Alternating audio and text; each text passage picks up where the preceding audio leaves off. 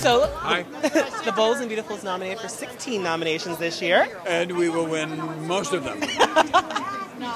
and Susan's nominated Oh, as well. of course she is, and, uh, and rightly so.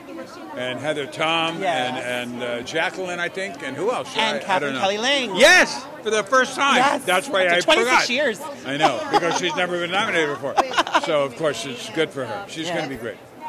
So now, life after Stephanie with Taylor and Brooke.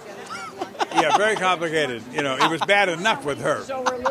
And now the two of them. No, no, it's wonderful. Come on, the show is the show, and it, if none of us were there, the show would still be there. So uh, I, I salute uh, CBS and, and Brad Bell and the Bell family for keeping the show alive, no matter who's there. You know, we're all very important uh, to ourselves and to each other, and we are very important to the show. But the show is the whole thing, and so it goes on no matter what. So And yesterday in Monte. Carlo, the Bulls and I know. won Did it win? Eighth consecutive. Of course it did. The most, popular, watched yes. top television show in the world. Mm-hmm. Oh my God! Yes. So it's, it's an amazing thing.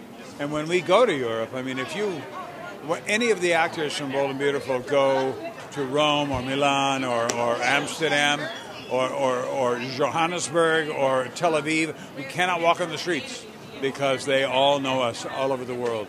So we stay here in LA. We stay in Sherman Oaks. Well, congratulations Thank you. to everyone. Yeah, thanks Thank for you. talking to me. Thank you. Bye.